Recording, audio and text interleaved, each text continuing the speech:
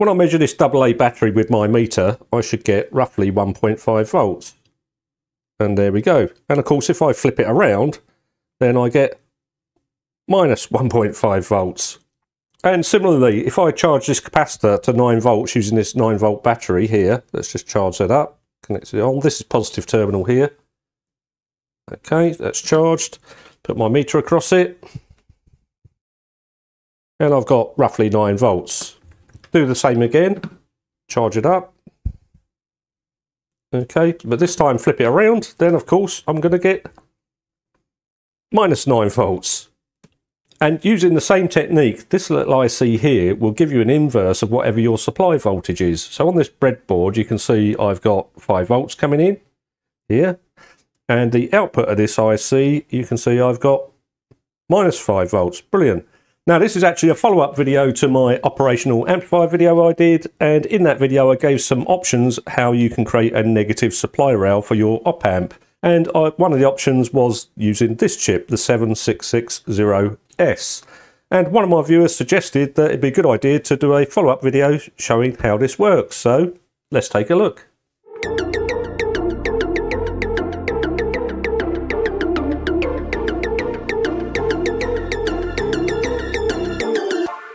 So the simple negative converter then, using this 7660S chip. If you look in the datasheet, they've got this rather handy sort of representation of how the circuit works. Let's take a closer look at that. So over here you've got a square wave pulse coming in and that's actually internal within the chip. It generates its own clock and that clock is controlling these switches S1, 2, 3 and 4. So you can see here you've got a NOT gate. So basically when these are closed, these two will be open. And when these two are closed, these two will be open. Now, in reality, these are not physical switches as it shows here. They are transistors or MOSFETs. So this is switching fairly rapidly. In the middle here, we've got our capacitor, and that's what we're going to be charging and then flipping around and then charging and then flipping around over and over to get our negative voltage. And these numbers here, well, they just represent the pinouts on the chip. So I'll add them in there. This is your voltage in here on pin 8. Your cap plus positive terminal your capacitor goes to pin 2. Pin 3 is ground, pin 5 is your output, pin 4 is the negative terminal of your capacitor, and pin 7 is an optional oscillator. I'll come on to that in a while. So just remember these switches are controlled by this pulse, but for the time being I'll get rid of all of that cumbersome mess there just to clean it up a bit. So let's assume we're powering this at 5 volts, and to start out we'll have S1 and S3 closed. And to make this nice and simple to follow, let's just put a bit of colour code in here. So red will represent my 5 volts, green will represent 0 volts or ground, and blue will represent when we've got our minus 5 volts. So with switch 1 and 3 closed and 2 and 4 open, then all of this will be at tied to 5 volts here. So the, that plate on that capacitor will be charged to 5 volts. And all of that shown in green there, well, that's tied to ground. You've got a ground connection here going through that switch, which is closed. So all of this is ground, ground, ground, ground there. So the plate on this capacitor is ground and the other side of this capacitor is also ground. So with that connected to ground and that connected to 5 volts, that capacitor will charge very rapidly to 5 volts. And also bear in mind that the plate on this capacitor here, this side, is tied to ground. It's permanently tied to ground actually. And now on the changing edge of the clock cycle, then S1 and S3 will now go open and S2 and S4 go closed. So therefore this now is ground up here. It's connected to pin 3 through this switch here. That means this capacitor, which was charged to 5 volts, this side of it is now actually referenced to ground.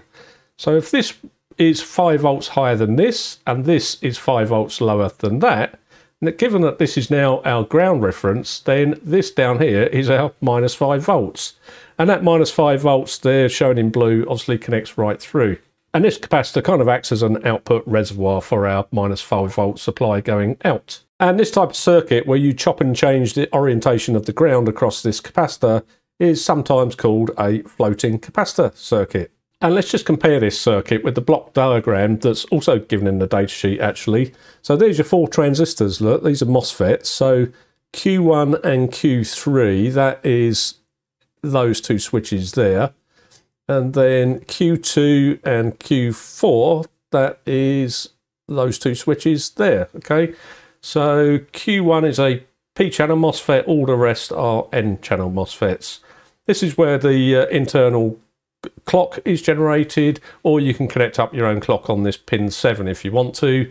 But do bear in mind that this is a divide by 2, so we'll see that on the scope later. It's divided by 2 internally.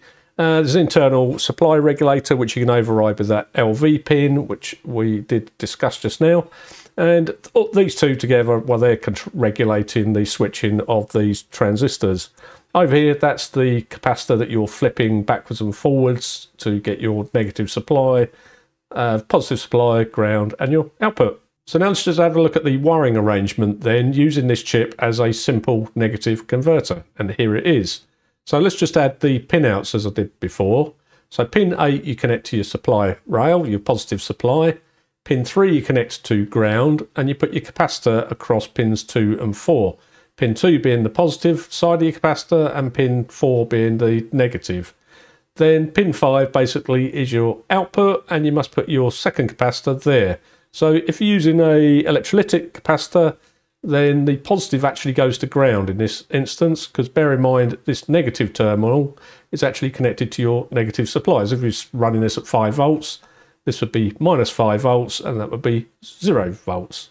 And just in case you're wondering what these other pins are for, let's quickly go through them as well. This boost pin, well, that increases the internal clock frequency from approximately 10 kilohertz up to 35 kilohertz. By increasing the frequency, of course, you're charging and flipping this capacitor much more rapidly, and therefore your output impedance will reduce. The LV pin you should tie to ground if your supply voltage is less than 3.5 volts. That will bypass the internal voltage regulator. And this optional Schottky diode here, this is what the datasheet says. If the input voltage is higher than 5 volts and it has a rise rate of more than 2 volts per microsecond, then an external Schottky diode from V out, which is there, to cap minus, which is there, is needed to help prevent the latch up basically. And pin 7 or OSC standing for oscillator, this is what the datasheet says. The oscillator, when unloaded, i.e. nothing's connected, oscillates at a nominal frequency of 10 kilohertz, as I said over here, for an input supply voltage of 5 volts. This frequency can be lowered by the addition of an external capacitor to the OSC terminal, or the oscillator may be overdriven by an external clock. Okay, so that covers how this thing works and how you wire it. So now let's go back to the breadboard and have a closer look at it. So there you go, that's the 7660S chip there. So pin 8 I've got connected to the supply rail, the positive supply, which I've got coming in as 5 volts.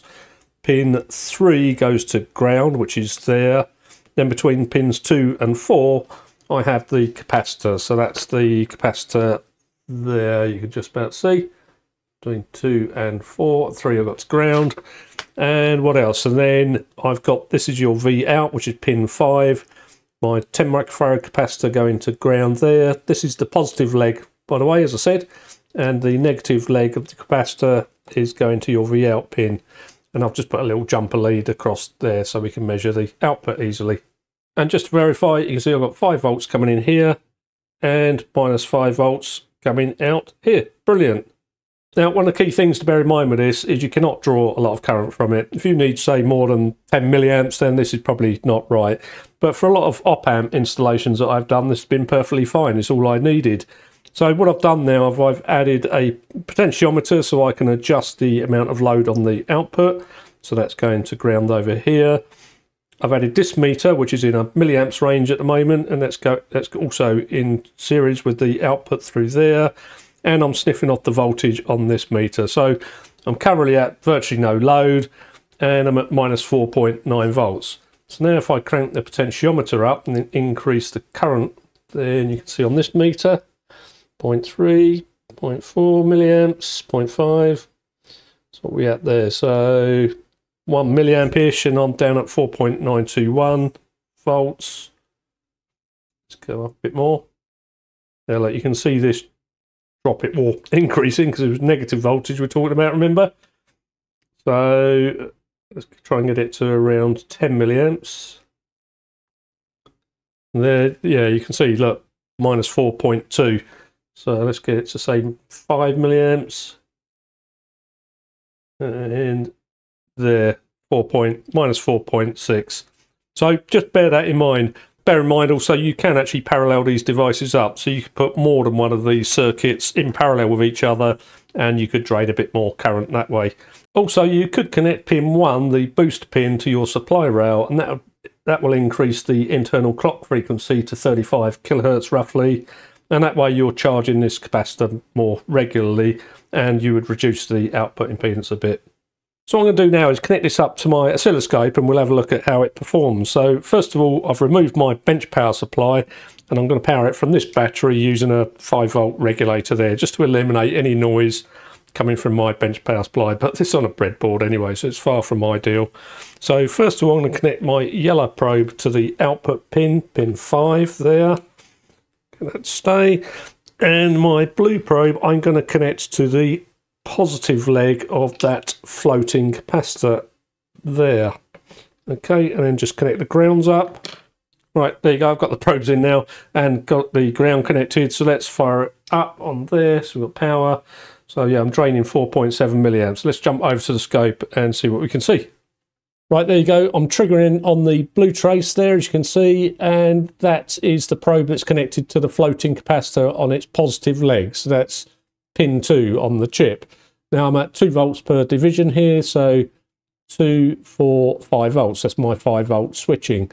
And if I turn on channel 1, that is the connected to the V out, the output pin or pin 5. So that's our minus 5 volts coming out. And the charge and discharge, okay, it's, it's discharging all the time because my load is constant on there, but it's got a charge cycle as well in amongst that. That's you can see is in sync with the blue trace. So you can see it's going with the switching of that capacitor flipping backwards and forwards. Now when I first looked at this thought okay that's it charging there and this is it discharging but um, no because remember this is minus 5 volts so it's a negative charge we're applying to it so actually this is the charge here and this is it discharging um, so let's just go and invert this. There we go. So that should be more representative in your mind. So that's it charging up to minus 5 volts. And then when it's not charging but still got the load, of course, then uh, it's dropping back down or up. and uh, yeah, then it goes again.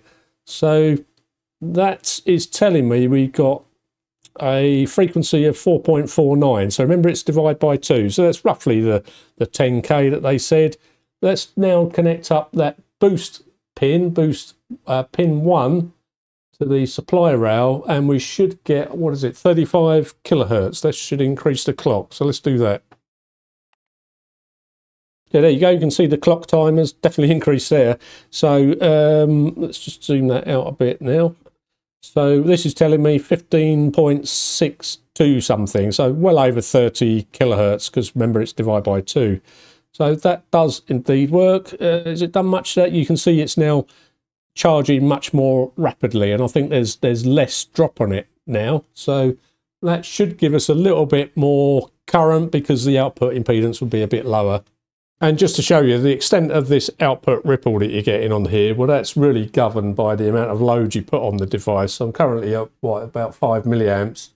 If I turn that down, you see that the ripple almost disappears. And if I go back up and put more load on it, then yeah, it's discharging much more heavily. So got to charge again. Yeah, that's so it's not great at higher currents. So as long as you're down at a few milliamps, then it's absolutely fine.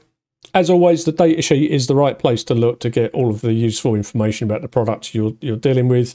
And this datasheet gives you quite a lot of useful information, actually. I've highlighted a few key points for me, so let's just run through some of them. Uh, supports an input range of 1.5 to 12 volts. It, you can use it as a voltage doubler. The circuit is below, I'll come on to that. But it will support voltage doubling to generate up to 22.8 volts with a 12 volt input. Uh, there's the pinouts, the uh, SKUs there, a few more specs. Uh, the output source resistance, so at 20 milliamps drain, uh, then the output resistance is 60 ohms, they claim. And the oscillator frequency we saw, so with pin one open, the, the boost pin, or tied to ground, then it's nominally 10 kilohertz, and we roughly got that. with it tied to your supply rail, then it's 35 kilohertz. Okay, more specs there. This was the functional block diagram, which is useful. Load of curve charts there is typical. Uh, more circuits there. That is the idealized negative voltage converter, which really helps you get your head around how the, how the circuit works. 0.6 here I've highlighted. Oh, that's the Schottky diode. If your input voltage is uh, higher than 5 volts and yeah, has a rise rate more than 2 volts per microsecond, then they recommend you put that Schottky diode there to keep it more stable.